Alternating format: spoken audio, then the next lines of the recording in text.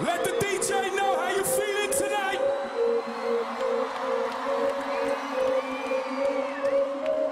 Want you to raise the roof. We're gonna rock this place.